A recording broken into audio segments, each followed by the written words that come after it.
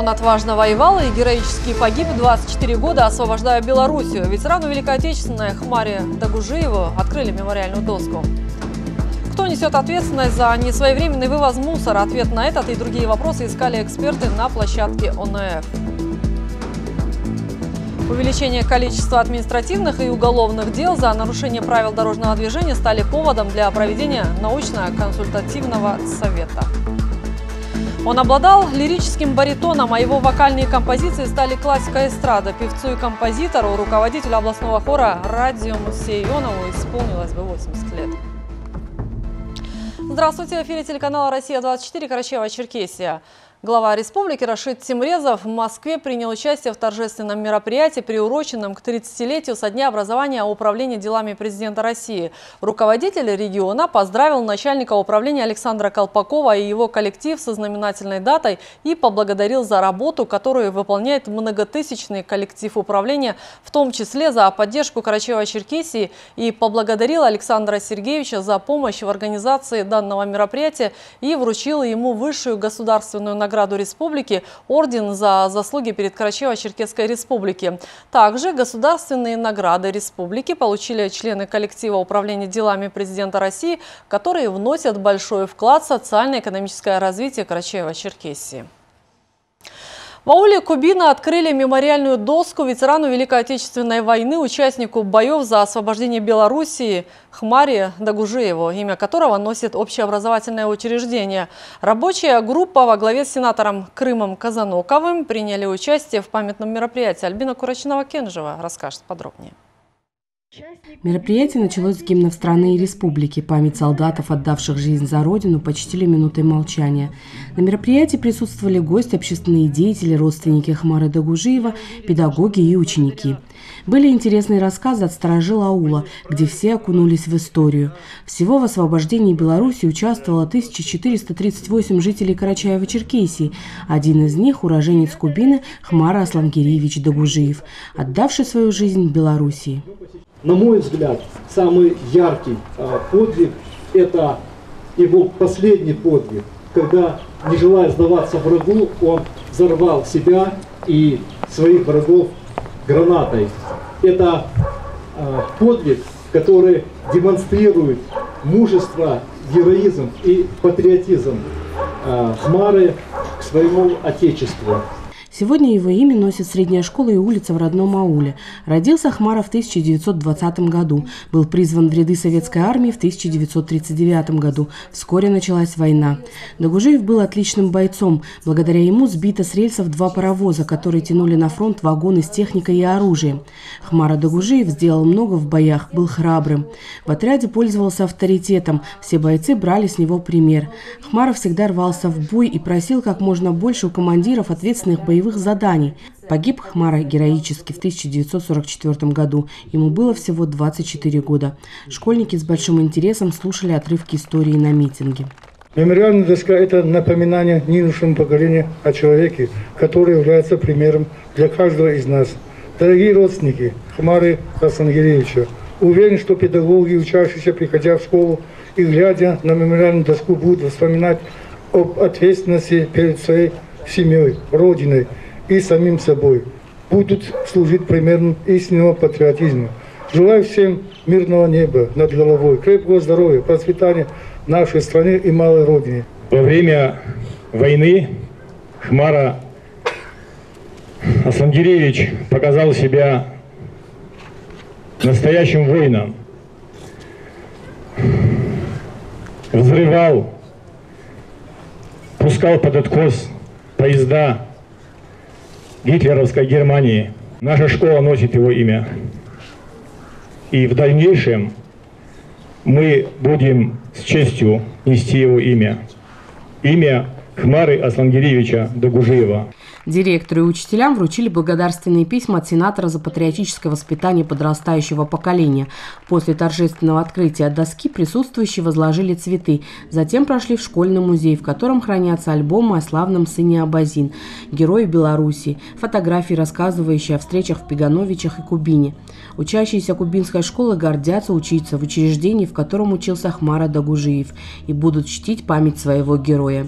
Альбина Курачинова, Кенджи Валибастанов, Вести, Карачи Карачаева-Черкесия.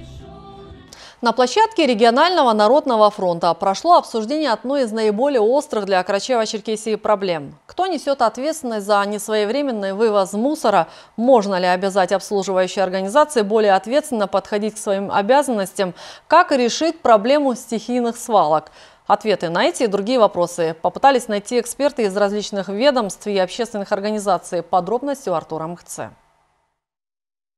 Проблема несвоевременного вывоза мусора для Карачаева-Черкесии не нова. Варианты ее решения периодически озвучиваются на самых разных дискуссионных площадках.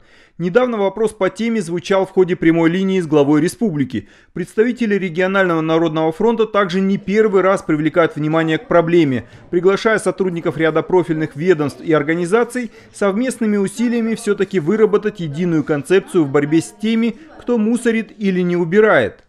Общественники постоянно мониторят все очаги стихийных свалок и скопления отходов на официальных контейнерных площадках. Проблема в том, что наши управляющие компании делают э, вид, что придомовая территория, ее очистка, в том числе и вокруг контейнерных площадок, их содержание, как это здесь указано, их не касается. Резюмируя, Ответственность за несанкционированную свалку, вне зависимости от того, в чистом поле она возникла или в городе, а, вне зависимости от того, вокруг она контейнерной площадки, организованной и учтенной, либо в неположенном вообще месте а, вдруг э, организовалась, в первую очередь несет собственник этого земельного участка. То есть мы идем от земли, Понятно, что виновное лицо должно ликвидировать свалку, но установить его получается далеко не всегда, поэтому бремя ответственности падает на собственника территории.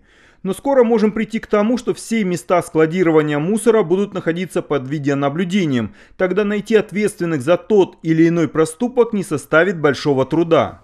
Объем обращений большой, как правило, э, более половины обращений обоснованными, признаются обоснованными и заканчиваются принятием мер прокурорского реагирования.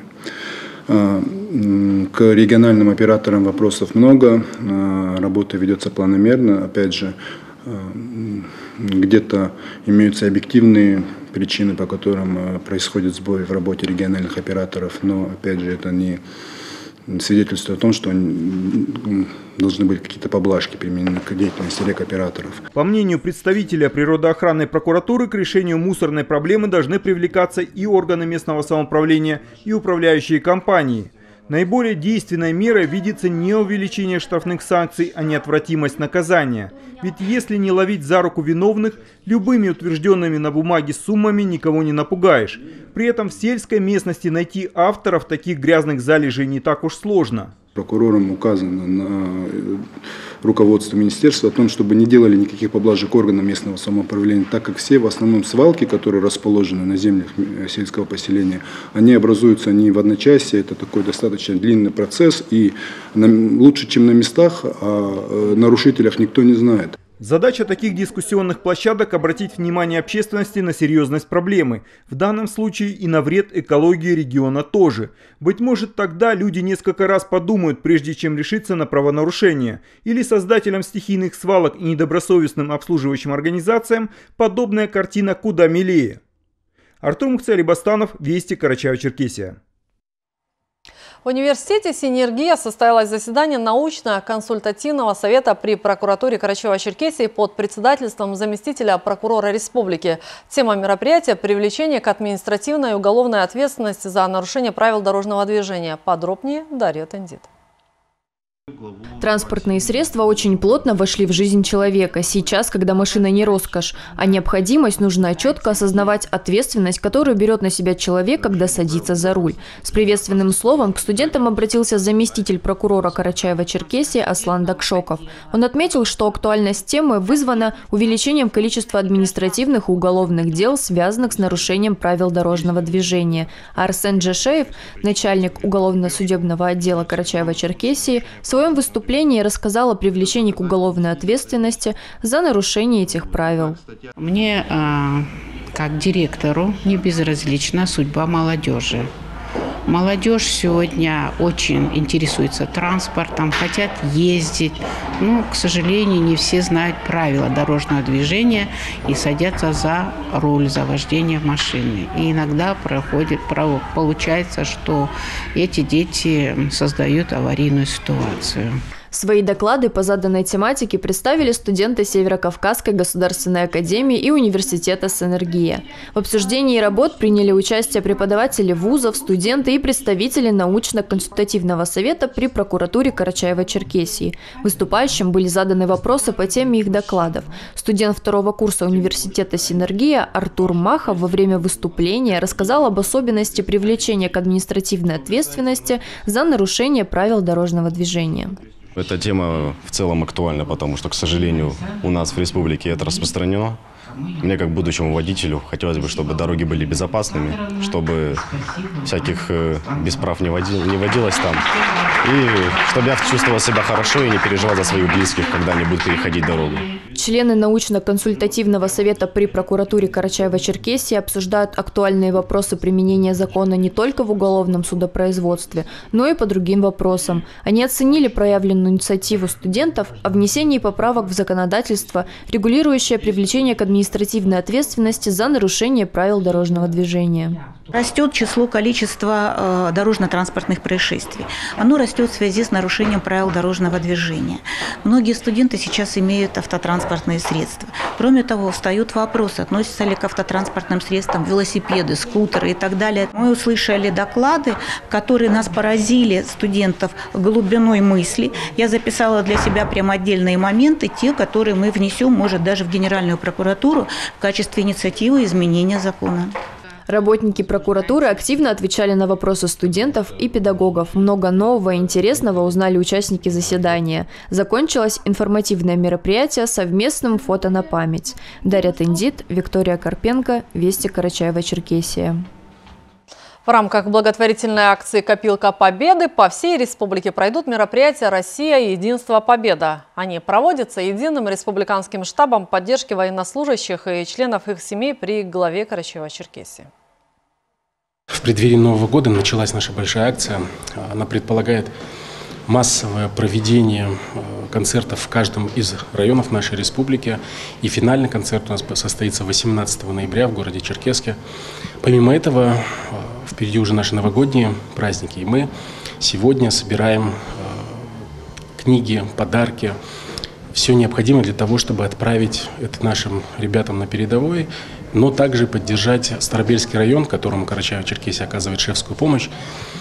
Для детишек из Старобельского района мы сейчас готовим новогоднюю программу, подарки. И здесь, в республике, также будет проведена елка желаний, где желания ребят из Старобельска и желания ребят из э, семей участников СВО разберут наши э, коллеги, представители бизнеса, депутаты, все, кто сможет порадовать детей перед этими праздниками. Муса Ионов – певец, композитор и дирижер, который дарил свою душу каждый раз, когда выходил на сцену. Его музыкальный талант стал незабываемым в народной памяти, а песни до сих пор звучат в исполнении современных артистов эстрада. 15 ноября базинскому музыканту, заслуженному деятелю искусств Мусе Хаджи Магометовичу Ионову исполнилось бы 80 лет. Его узнаваемый многочисленными поклонниками баритон вновь заиграет своими своим неповторимым тембром в сюжете Фатимы Дауровой.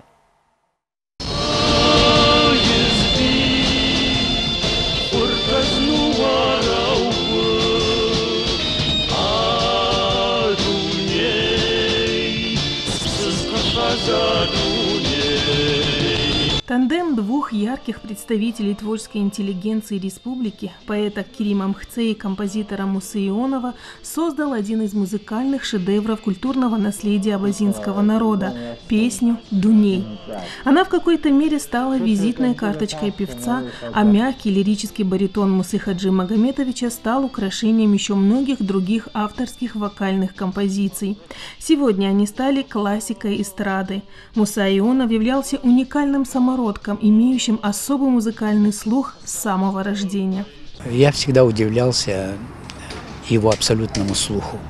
То есть он мог вот идти вот по улице, часто он прогуливался, особенно после болезни, после операции на сердце, прогуливался, услышит какой-нибудь шум, и он мог это, ноту этого, это даже природного шума сказать, природного звука сказать, какая нота прозвучала. Более двух десятков лет Муса Ионов возглавлял один из самых ярких вокальных коллективов своего времени – областной хор «Радио».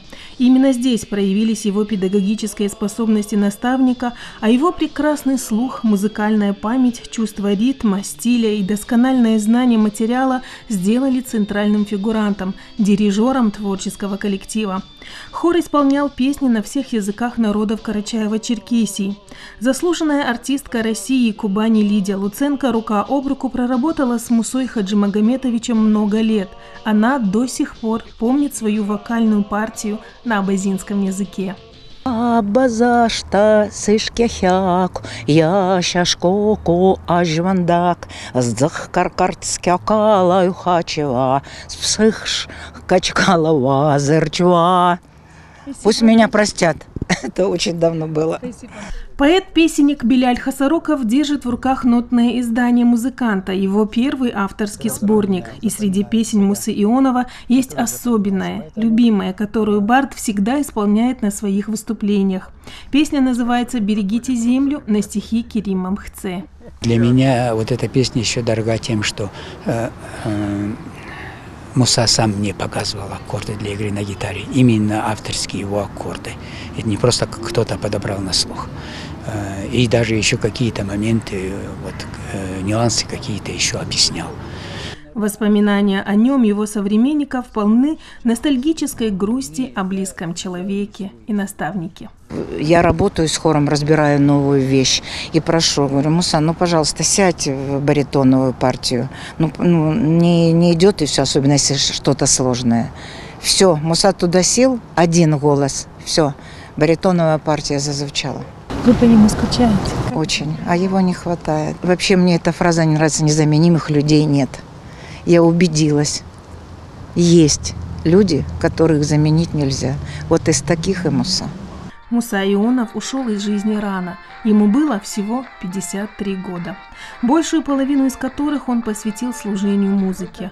Его творческое наследие – это национальное достояние абазинского народа, а достоянием самого автора стала его семья, которая была ему опорой в жизни. Его дочь Мадина Ионова сегодня является хранителем телевизионного архивного фонда ГТРК Карачаева-Черкесия – на этих полках часть истории развития родной республики и среди старых видеокассет и новых цифровых носителей бережно хранятся архивные видеозаписи с выступлений именитого отца. И когда его песни звучат из телевизионных экранов и со сцен концертных залов, из торжественных мероприятий, гордость за отца переполняет сердце дочери. Пели и черкесы, и абазины на этой свадьбе эту песню, и мне, знаешь, вот так мурашки по коже шли, потому что, ну, это же приятно, когда ценится его творчество. Не, не однодневная эта песня. Помню, поют дети, которых еще, в принципе, не было на свете, когда он ее написал, эту песню. Это дорогого стоит. Это, наверное, самое дорогое, что ты можешь заработать в этой жизни. Это добрую память о себе. Фатима Даурова, Михак Аракелян, Вести, Карачаева-Черкесия. На этом наш выпуск завершен. Далее смотрите специальный репортаж Фатимы Дауровой о кружке по стрельбе пластом.